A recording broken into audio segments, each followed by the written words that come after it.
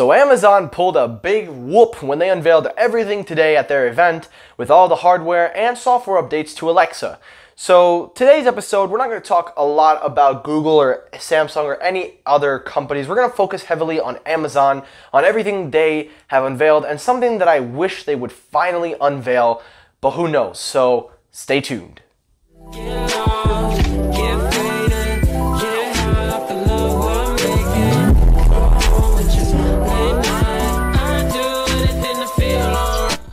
what is up everybody? Michael here. Welcome back to Technoid. And guys, I hope you're having an excellent day. So far for me, I'm having an eh day.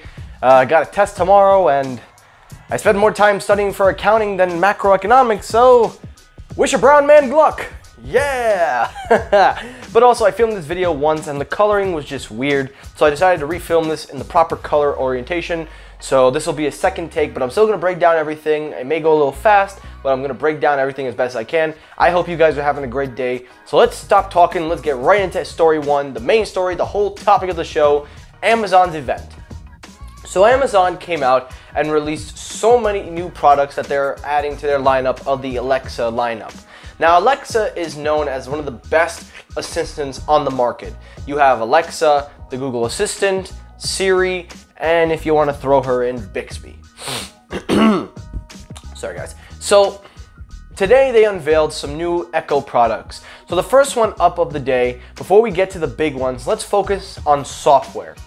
So software, they talked about the Amazon Alexa herself.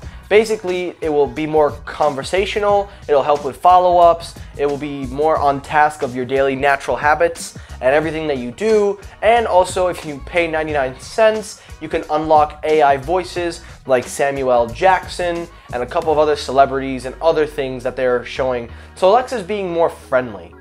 Also with them, they're also releasing some updates to Alexa to help with, you know, your routines and mailing, ring, uh, packages, and everything else. So it's nice to see Alexa get some updates, but I really hope they emphasize security, but uh, yeah, we'll never get that. so next up, let's talk about future products. So future products, they didn't focus too heavily on, but they talked about a smart oven, which is supposed to be a follow-up to their microwave, which is still baffling, but okay. Um, they also talked about an Alexa Ring, which is kind of weird. Uh, I don't know how to feel about that one. And then they talked about Wi-Fi, about how they will have your products work even out of Wi-Fi, so you'll be able to still access your uh, stuff like your lights, Alexa's uh, Echoes, and all that kind of stuff. But the main topic of the show was the hardware. Now, before we talk about the two big ones, Let's talk about the other products. So they released a dot with a clock. a dot with a clock. That sounds like a Dr. Seuss rhyme. And also a little glow, an Echo Glow, which is basically just a little lamp there with Alexa in it. It's not meant to be, I guess, speaker or whatever. I, I don't know. But it's pretty cheap, so. But the main point of the show was the Echo Show and the Echo Buds. Let's take a look at the Echo Show. The Echo Show is basically Amazon's answer to Apple's HomePod. Their fully immersive sound uh, speaker that not only is Alexa enabled, as you know, but it is in high performance audio. So this is basically what the HomePod should have been. A pr well-priced smart speaker with a well established assistant with well-established audio. They are focusing heavily on audio. Just like how Apple prioritized audio, they are going in and basically gonna knock on the door, basically pull a knock knock break down the door or some other how that song goes or something i don't know I, I don't know it's like knock knock open up the door or something like that but still amazon is basically going to say hey apple this is what we can do. Now the echo show uh, looking at the specs, it will have a woofer at the bottom with some tweeters around. It will have a 3D sounding effect to enable Dolby Atmos. So it's not exactly Dolby Atmos, but it will give you the feeling that you are listening to Dolby Atmos. It will be all about clarity, bass, and emphasis on clarity. That is their main priority. So you can hear it and it sounds nice. So this will be priced at $199 and for $199, that's a bargain. With what Amazon has been able to do with sound quality, even on the Echo Plus and the Echoes, they're pretty good sounding. Now, to be fair with Apple, the HomePod is the best sounding smart speaker on the market. While it's not the best one, it is the best sounding.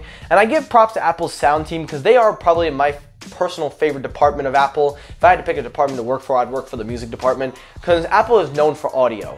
With the exception of the AirPods and the EarPods, everything that they do, the iPhones, the iPads, the MacBooks, and even the HomePod itself. All those devices have great sounding audio, and I gotta give credit where credit is due. Their music department is nice. So if there's anything I will defend Apple on, is their audio department because Apple was known for audio, iTunes, and now that they have Beats, which is a little debatable, but still, you get where I'm going. But Amazon is coming in and going, pop, pop, bang the steel. I, I don't know, guys. I'm, I'm, I'm weird with the catchphrases today. But anyway, Echo Show 199. That is going to change some roofs. I'm hoping to check it out and see how it sounds. But the next product that I'm eagerly awaiting also is the Echo Buds. Now the Echo Buds is a answer not only to the AirPods but to Samsung's Galaxy Buds and a couple of other uh, earphones out there in the market. Sorry guys, I, I know I do that a lot, but I don't know what's happening in my throat. But anyway, it will have premium sound. It will have a good isolation to fit your ear, along with Bose's noise technology to help reduce the noise. Not noise canceller, noise uh, reduction. So it will help reduce the noise, which is probably just a seal. It is customizable. It has five hours on each earbud and has a 20 hour battery case, which is pretty good. So that's a total of 25 hours and fast charging.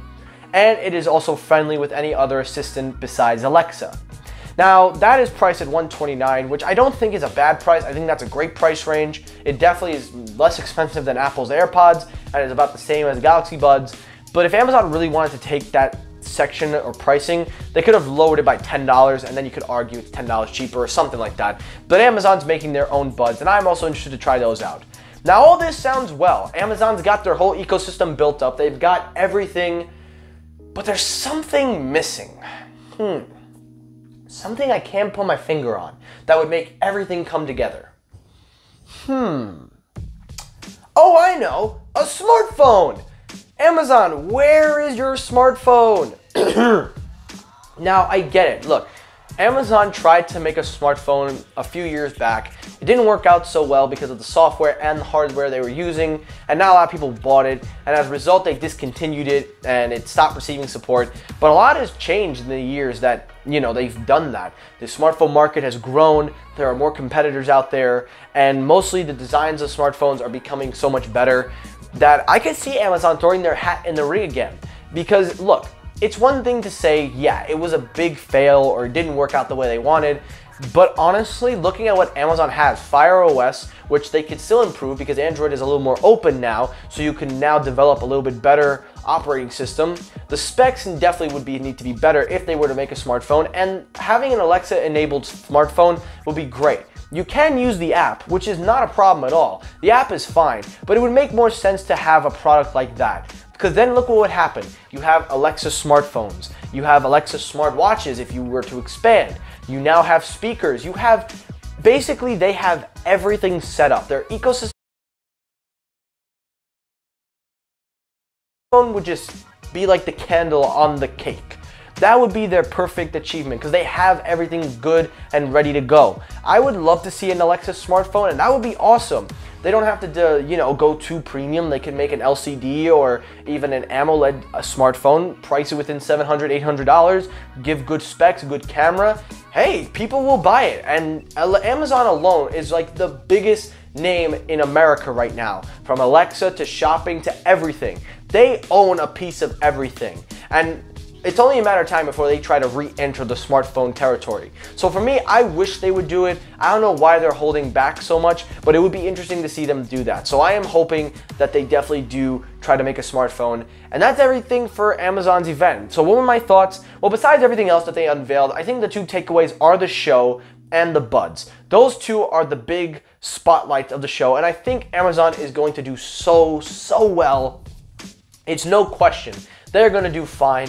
I just wish they would make a smartphone. And to Apple, you better answer back because you overpriced the HomePod. It's at 299. Nobody's buying it. Look at what Amazon did for 199.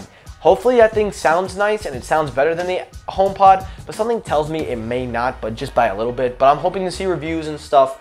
But Apple, you better answer back. You need to stop trying to expect what people will buy because 350 was not the price, 299 is not the price, and it is shown that average consumers care more about the assistant and care more about that than the audio quality that you were trying to do. So make a smaller HomePod, a more affordable HomePod, and a portable HomePod even. Because hell, they got Alexa portable Echo. So it's time for you to start throwing your hat in there and start grabbing some market share.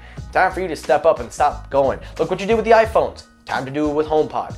And that is it for Technoid. Guys, I know this episode was all about Amazon, but I promise I will mix it up in the next video. So that is it for the event. Thank you for watching. Let me know your thoughts down below. Do you think Amazon should be making a smartphone? If you liked the video, hit the like button. If you disliked the video, hit the dislike button. Thank you for watching and peace!